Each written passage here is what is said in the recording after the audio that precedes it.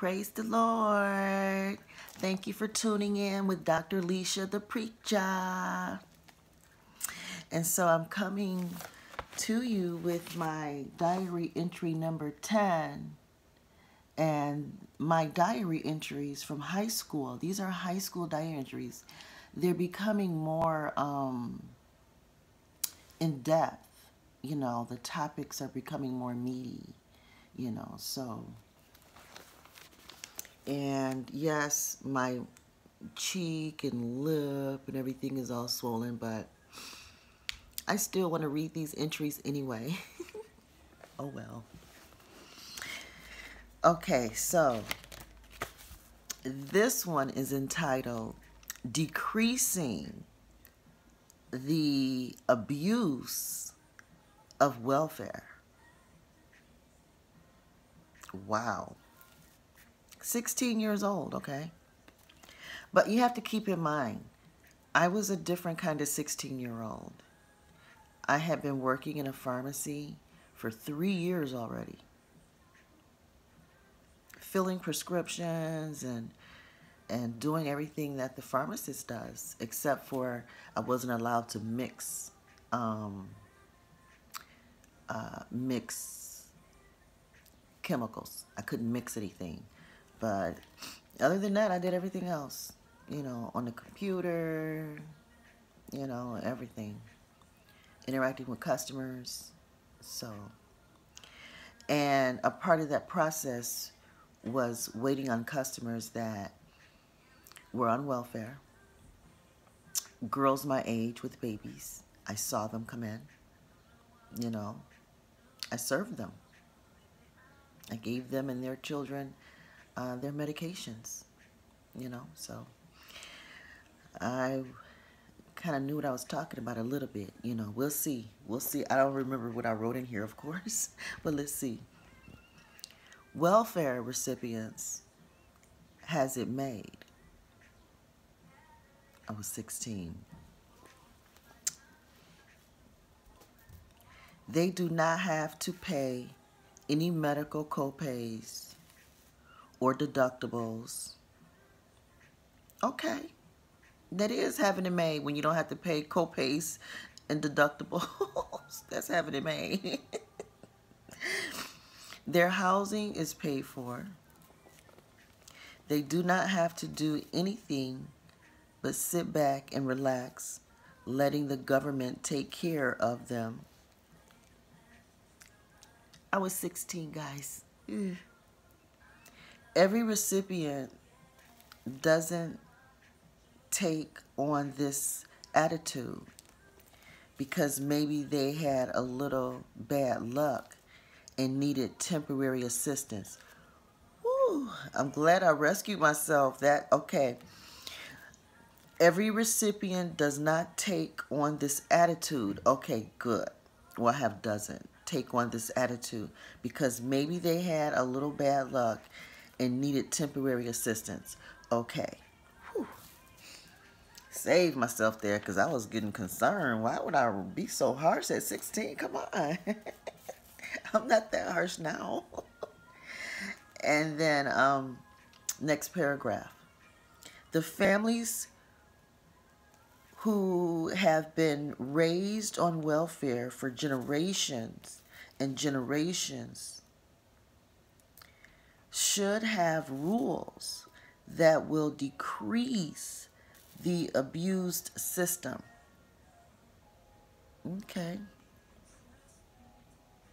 A rule that will work in my view is that when a woman applies for assistance, she should only be granted assistance for herself and whomever she claims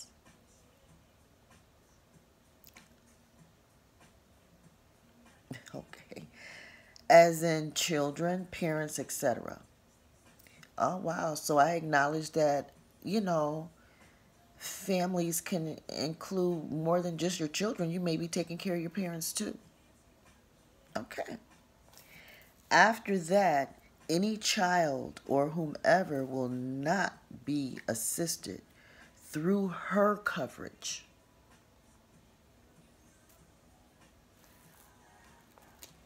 In other words, ooh, I was deep. In other words, any other child she has is her responsibility. The way the system is now, a woman can have 500 children, 500 children.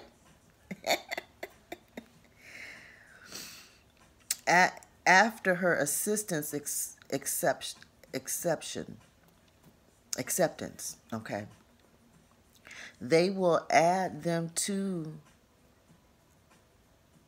her coverage. That is only encouraging the woman to have more children for more money and creating more generations of welfare recipients. Well, I don't even know what to say to that.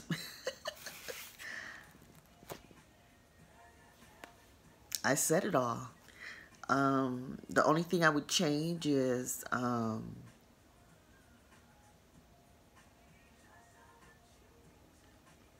it just depends on the woman's situation. You know, whether or not her coverage will include additional people after she applies. Um, wow.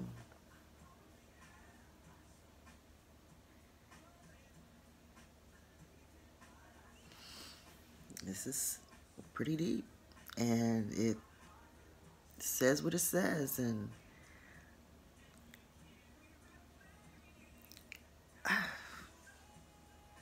16 years old writing like that. But again, I think I had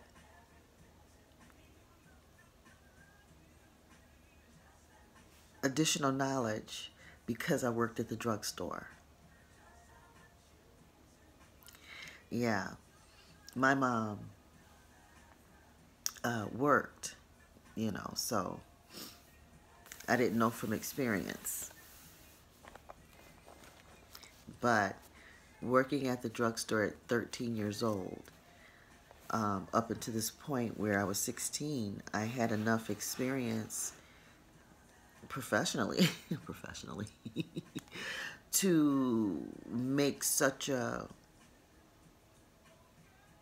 um, a statement. This is a, a pretty bold statement for a 16 year old. Um, and I do, I guess I feel the same way, I guess. Yeah, I, I kind of do, except for, you know, adding additional people, children, on her coverage. I know I like how I pointed out on her coverage, you know, after she applies.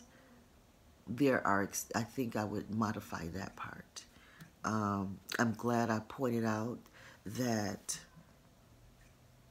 everyone doesn't take that attitude of generational um, welfare um, dependency, you know. Granted, you know, you have people who are disabled at any age and requires um, lifetime assistance that's different. There are so many exceptions. But to end the generational abuse of welfare, and I, I wouldn't even use the word abuse anymore. I would just say dependency. Because, you know, let's keep it real. Um, you can't abuse something that you have only known. I mean, it's your only real option. It's only been your really only real option for generations.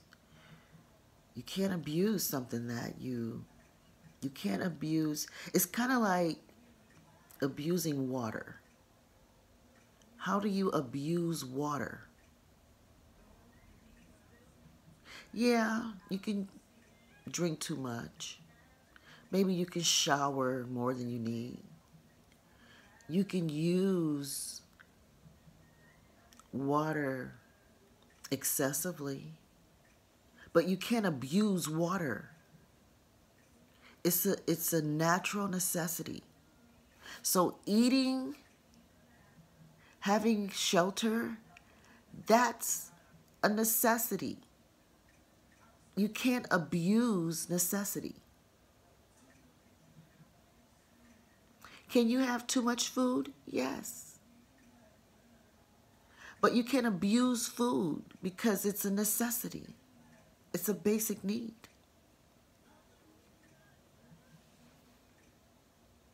So, in my opinion, I would change the title to say decreasing the dependency of welfare because I don't believe you can abuse basic necessities. I believe basic necessities is a, a, a, a God given right. It's our birthright. Just the fact that we're born, we have the right to basic necessities just to be here. But the laws of the land operate in a way that unless you work, you don't eat. But I think when it comes to women and children, there an, ex an exception needs to be made. And I don't think that we have the option to abuse basic necessities. No. Can you abuse luxury? Yeah. But housing for children and women and children is not an abusive system at all. It's a basic needs system. But what we need to focus on is how to rise above the basic needs level. How can we prosper? How can we pull welfare recipients up to better circumstances? That should be the focus. Not bashing recipients for the need to eat and live. No. For education. You know? A public life. Basically, that's what it is. Public assistance means you're you're living life at the public level. You know, if you want to live at the private level, you're going to have to change what you're doing. You're going to have to take advantage of the programs that are also in place to help people to rise above the basic needs level. Well, I'm going to stop rambling. Thank you for listening. And um, wow, that was a, you know, a, a worthwhile, worthy topic with Dr. Alicia the.